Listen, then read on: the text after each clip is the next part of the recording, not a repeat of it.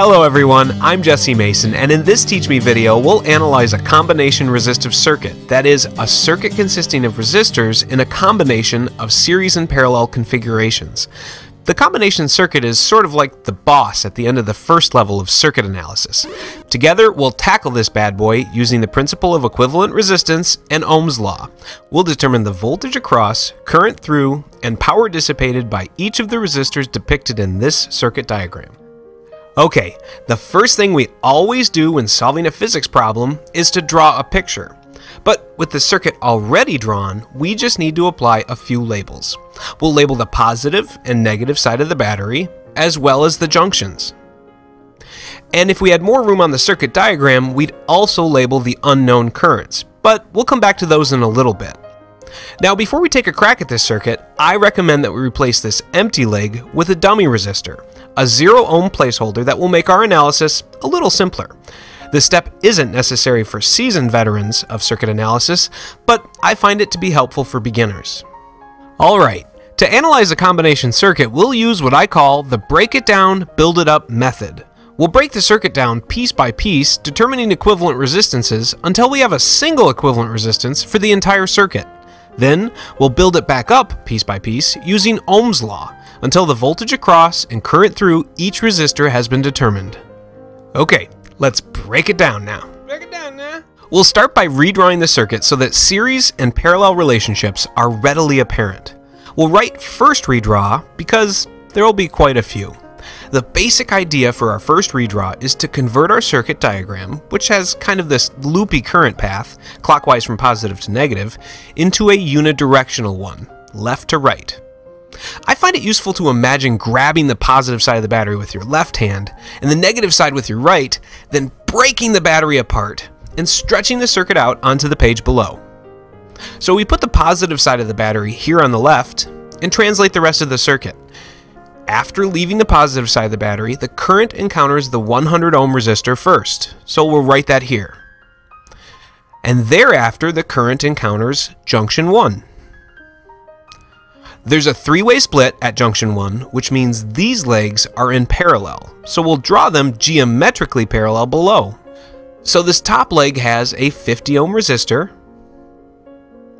and a 250 ohm resistor follows it, so they're in series.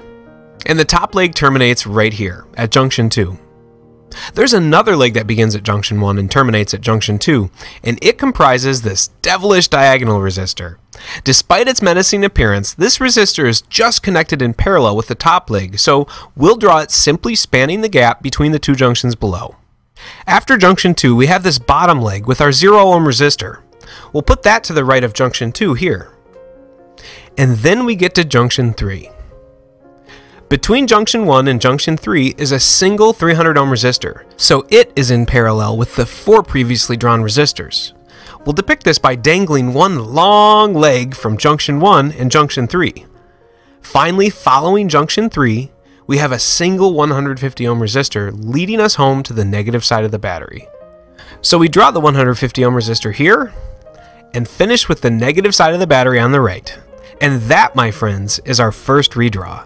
You can see what I meant by breaking the circuit apart and stretching it onto the page. Now we can easily determine our first equivalent resistance. We'll start with the resistors that are furthest from the battery and determine their equivalent resistance. So, working inward from the positive and negative sides, we find that the 50 and 250 ohm resistors fit the bill.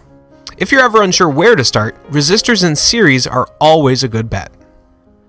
So the equivalent resistance for these two resistors is 50 ohms plus 250 ohms, which equals 300 ohms. This is how we calculate equivalent resistance for resistors in series. Simply sum their individual resistances. And this brings us to our second redraw. We'll redraw the entire circuit, but in place of the 50 ohm and 250 ohm resistors, we'll draw a 300 ohm resistor, like so. Once we finish our second redraw, we again turn our attention to the circuit diagram and determine the resistors furthest from the battery. Moving inward from the sides of the battery, we find that these two resistors are the next to be combined. We calculate their equivalent resistance differently because they're not in series, but in parallel with one another. So for our 300 and 200 ohm resistors, REQ equals 1 divided by 1 over 300 ohms plus 1 over 200 ohms which equals 120 ohms. So, for resistors in parallel, the equivalent resistance is equal to the reciprocal of the sum of the reciprocals. Okay, moving on to our third redraw. Here we'll have the same circuit as depicted in the second redraw, except that we replace the 300 and 200 ohm resistors with their resistive equivalent, a single 120 ohm resistor. Starting to get the hang of this? If not, don't panic. We've got a couple more redraws with which to practice before we're done breaking it down. So, which resistors are next? You guessed it, the two that are in series. So we just add their resistances together.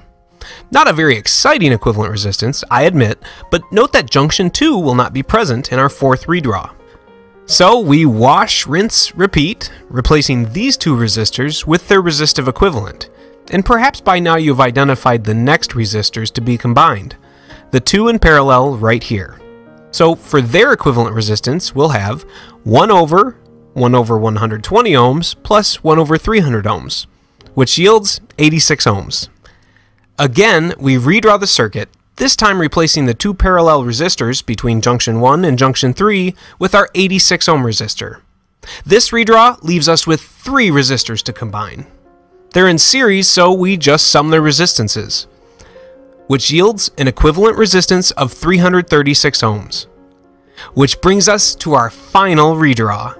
We've reduced our initial six resistors to a single equivalent resistance, which means we're done breaking it down. If we bend our circuit back together, reconnecting the positive and negative sides of the battery, it should be clear that we're left with our old ohmic friend, the simple circuit. And as far as the battery is concerned, that's all there ever was. No matter the circuit's configuration, the battery only sees an equivalent resistance and supplies the circuit with a corresponding current. How the circuit divvies up this current depends on the configuration. So, we'll label the current leaving and re-entering the battery as I0. See, I told you we'd come back to drawing our currents. And now we'll determine a value for I0 using Ohm's law. We write V equals IR, which will solve for I which in this situation gives us I0 equals the source voltage divided by the equivalent resistance. Inserting our values, we find that I0 equals 54 milliamps. Eureka! A value for current leaving and re-entering the battery marks the halfway point in our analysis, which means it's time to build it up now. Build it up now. To build our circuit back up to its original configuration, we'll move through our series of redraws in retrograde determining the values for voltage across and current through each resistor as we go. So, we begin building it up by revisiting our fifth redraw. By the way, I'm redrawing my redraws here, hence the little 2, for the sake of neatness, but to save on time and paper at home, just simply mark up your old redraws. Okay, we know that I0 passes through the resistor, representing the equivalent resistance of these three resistors. And since there's only one path for the current, we know that I0 must pass through each of the three resistors. In other words, series resistors experience the same current, but provided their resistance values differ, they experience different voltages. Knowing the current through the resistors, we can now determine the voltage across them using Ohm's law. So for the 100 ohm resistor, we apply Ohm's law and we get the voltage across the 100 ohm resistor equals the current through the resistor, which is I0, that's 0.054 amperes, times the resistance of the resistor, which is of course 100 ohms. This yields a voltage drop across the resistor of 5.4 volts. Now for the 86 ohm resistor. V equals I, that's 0.054 amps, times R, 86 ohms, which equals 4.6 volts. And for the 150 ohm resistor, 0.054 amps times 150 ohms, which equals 8.1 volts. Now at this point, we could determine the power dissipation for the two outer resistors, but we'll just wait to calculate power until the end of the problem when we tabulate our solutions. Next, we revisit our fourth redraw, wherein junctions 1 and 3 are actual circuit junctions, where three or more paths come together. Here we have I0 splitting up into two currents at junction 1, what do we know about resistors in parallel? Well, we know they'll have the same voltage, but so long as they have differing resistances, they'll have different currents. And so we'll label the currents here I1 and I2. To determine values for I1 and I2, we'll use Ohm's law. But first we need voltages for these two resistors. we know that the voltage drop across the 86 ohm resistor is 4.6 volts, and since it represents parallel resistors, that means the voltage drop across each resistor is the same, 4.6 volts. And we'll box up this result to save for our solutions table. Solving Ohm's law for current, we determine that the current through the 120 ohm resistor, that is to say I1, equals 0.038 amps. Similar calculation for the 300 ohm resistor yields a value of 0.015 amps for I2. Now to our third redraw. Here the 120 ohm resistor expands in a rather unexciting way. Out pops a goose egg resistor. I0 doesn't change. I1 passes through both the 120 ohm and 0 ohm resistor, and I2 is the same. We'll run the calculations for the sake of posterity, with the unsurprising result that the voltage drop over the 0 ohm resistor is 0 volts. Onward and upward, or backward, depending on how you look at this method.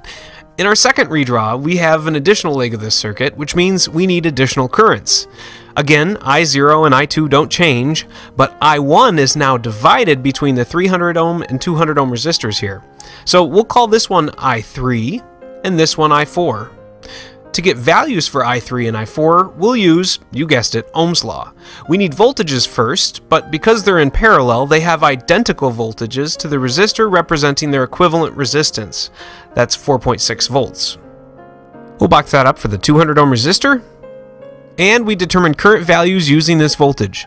So I3 is 0.015 amps, and I4 is 0.023 amps. Got the hang of this? Good. Now back to our first redraw. By the way, you'll likely be studying circuits with multiple power sources soon, and when you do, you'll need another circuit analysis tool, namely Kirchhoff's rules. Subscribe to my channel now, and when you need help with Kirchhoff's, come on back. Okay, I0 hasn't changed, so we'll draw that first. The current through this top leg, containing the 50 ohm and 250 ohm resistors, that's I3 here. And the 200 ohm resistor is associated with I4. The current through the bottom leg, that's I2, and it looks like we forgot to label the current through the dummy resistor in our last redraw. That's just I1. So the final pieces of our circuit puzzle are the voltages across the 50 ohm and 250 ohm resistors. Again, it's just Ohm's law using the known current through the resistors, in this case 0.015 amps, which yields a voltage of 0.75 volts for the 50 ohm resistor and 3.75 volts for the 250 ohm resistor and with values for all of the currents and voltages, we're done building it back up. Now we'll generate a solutions table and calculate power dissipation for each resistor. With voltage and current in adjacent columns, power is a cinch to calculate. Recall that power dissipation for a resistor is equal to the product of the current and voltage, so we just multiply 0.75 volts and 0.015 amps, and we get 11 milliwatts for the 50 ohm resistor. For the 100 ohm resistor, we multiply 5.4 volts and 0.054 amps, and we get 0.292 watts. We'll fill in the table for the other resistors, collecting solutions from our re-redraws, and determining power dissipation as we go. And that is how you break it down and build it up.